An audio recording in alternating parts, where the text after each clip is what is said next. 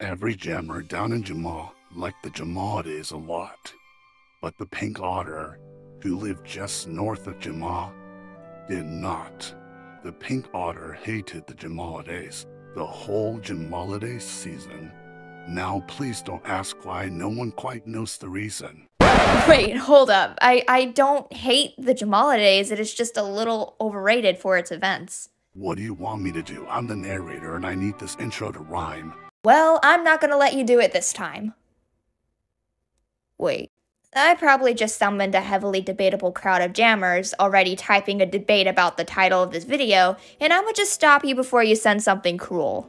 I mean, sure, you can still send it, I'll, I'll just be sad about it. It's whatever, this is my opinion, and this channel is a safe space for opinions, so by all means, comment your opinions.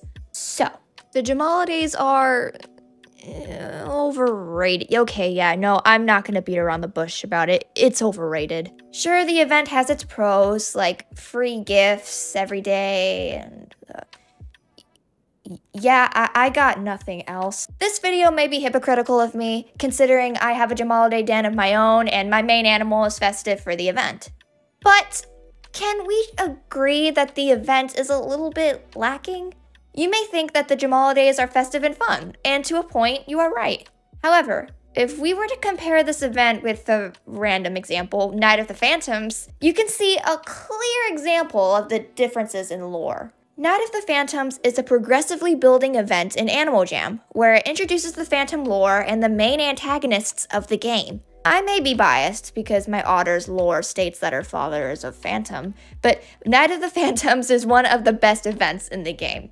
But the father thing, how does that work? What sets Night of the Phantoms apart from the Jamaalidays is the fact that the lore of the Phantoms remain constant throughout the Animal Jam community. Even in the summer months, the Phantoms are always given some sort of shenanigan to complete. But the Jamaalidays, they just happen. The first day of December, boom, snow, and a calendar. No build-up, no theatrics, or Dr. Seuss poem to sweeten the mood of the season. Just bada bing, bada boom, here's a gifting tree, go beg for free stuff, kiddos. I think the Jamaalidays is an excuse for Animal Jam to take a break from giving actual updates to jammers. Because every time a new bundle comes out, it doesn't really set their bundle apart from all the others released throughout the years of the Jamaalidays. The bundle is just a starter pack of animals that jammers really want and a collage of repeated items behind that ridiculous price tag. Like, what the heck, Animal Jam? Last year it was just 1,000 sapphires. Now you increased it by 200? Are you serious? And even the Advent calendar reuses items that Animal Jam used last year and the years before. Look at this, we had this hat last year. Oh well, at least we have the spike pack runs. Maybe, but that might be the only thing that is actually good. This year, Animal Jam actually reset the colors of the spikes and made them somewhat more appealing than last year. Like, look at my spikes that I got from the pack runs of 2023. Aren't they pretty? It, no offense, Holly. Aww.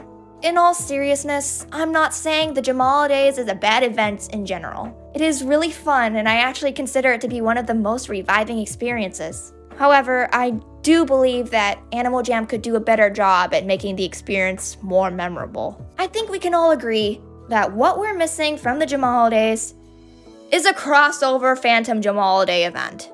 How hard would it be to take the Phantoms, throw some disguises that could pass as alphas, and they go around Jamaa and pass around Phantom Jamaaliday items or something? It would make the lore of Animal Jam so much more appealing. And their poop can turn the snow purple. I would have loved that as a kid. I'm, I'm thinking out loud here. I'm just now realizing how stupid that sounds. But you get the idea.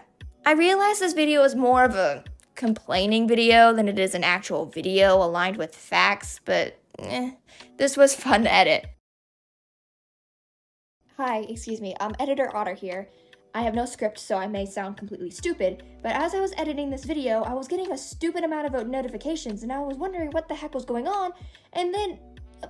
Uh, um, there... There's a lot of you now. Hi! Oh god, I, I, I need to get better at this. I don't know what to say besides, thank you so much. Like, my heart... My heart can't even speak, it's that baffled. baffled. It's... I can't even speak. Dang it. I'm, I'm failing at this. Thank you so much for watching me and following me around. This, ser- this seriously makes my heart really happy. And what happened then? Well, in Jamaa, they say the pink otter's small heart grew three sizes that day. Send help.